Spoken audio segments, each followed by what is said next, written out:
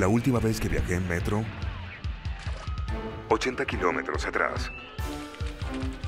Mi último no puedo. 50 kilómetros. Y mi última copa fue 20 kilómetros atrás. Mi desafío más grande, el que está por llegar. True TV, Cruce de los Andes 2011. Gente real, experiencias extraordinarias.